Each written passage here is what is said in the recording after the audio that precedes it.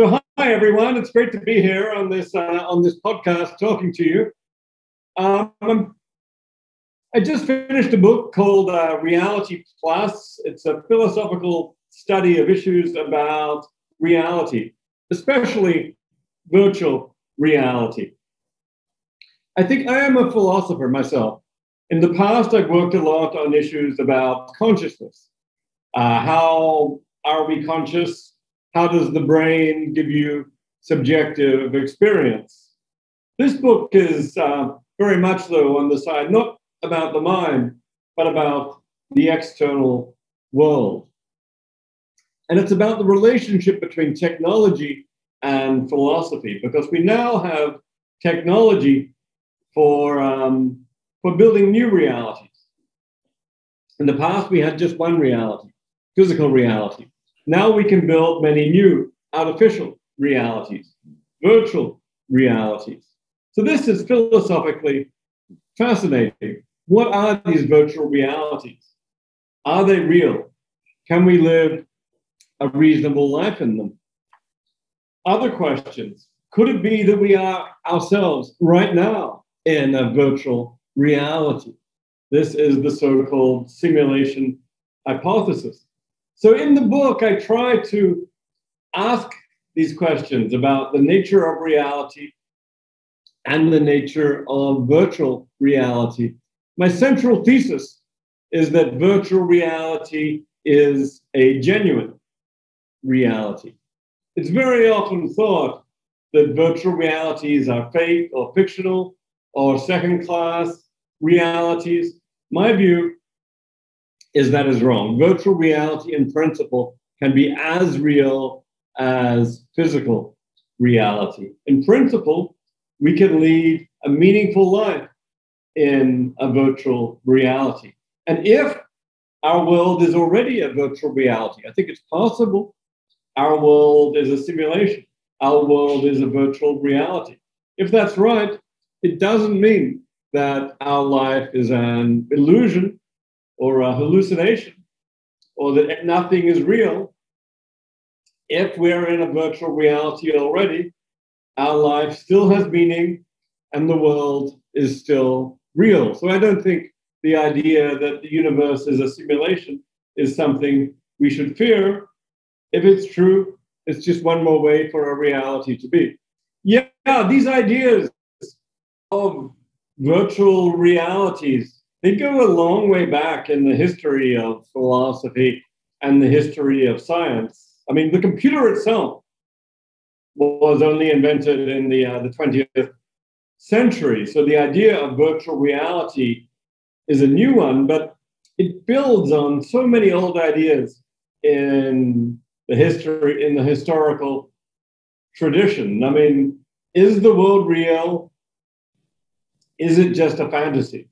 Is it just an illusion? In ancient Chinese philosophy, we find the philosopher Zhuangzi asking, Am I dreaming now? Or am I awake? Am I now? He has a dream that he's a butterfly and he wakes up and says, Now, am I Zhuangzi who just dreamed he was a butterfly? Or am I a butterfly dreaming that he's Zhuangzi?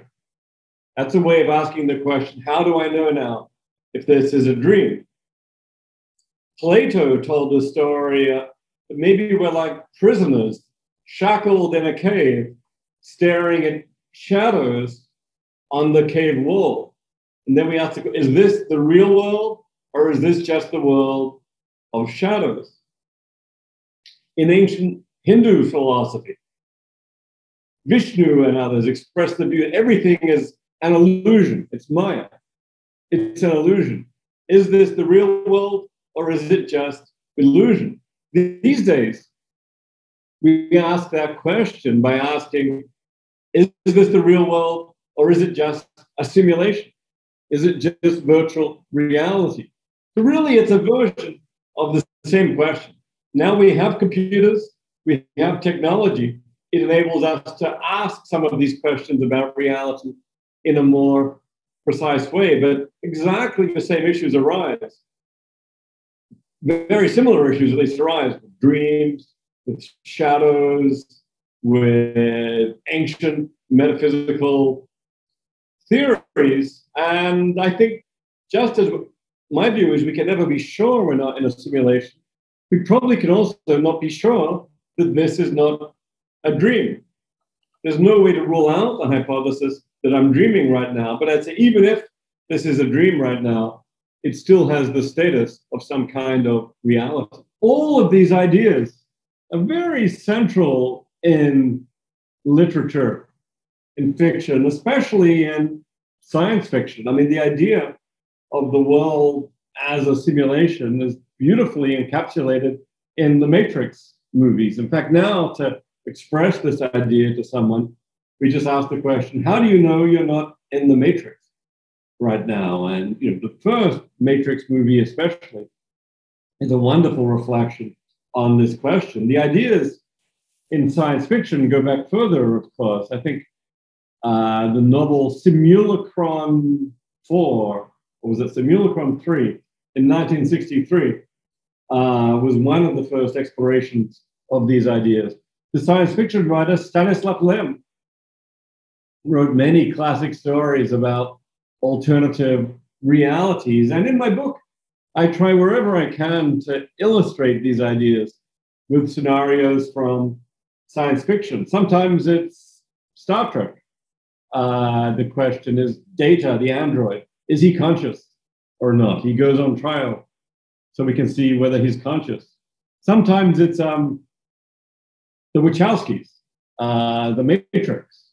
Are we in the Matrix? Sometimes it's oh, Greg Egan on Permutation City, wonderful science fiction, wonderful science fiction author. Sometimes it's uh, Black Mirror, the TV series, which illustrates so many of these ideas. So I find that science fiction provides a rich tapestry of thought experiments. You know, in science, thought experiments are important. In philosophy, they're even more important. We present a scenario and we think about it.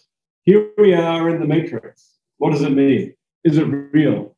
I wrote this book so that it's both very serious work of philosophy. It's meant to be very serious work, putting forward some original ideas and arguments. But also, I want it to be a book that anybody can read, that it's full of uh, accessible examples, science fiction, pop culture. There are even illustrations, 50 or 60 illustrations throughout the book, which I, I love the, the illustrations. So I want it to be both a book for anyone, but also a book for my academic colleagues. I want them to take it seriously. And there, they, the book is, it's still new, two months, two months old and so on. But as far as I can tell, my colleagues in philosophy and in science are reading about it and commenting.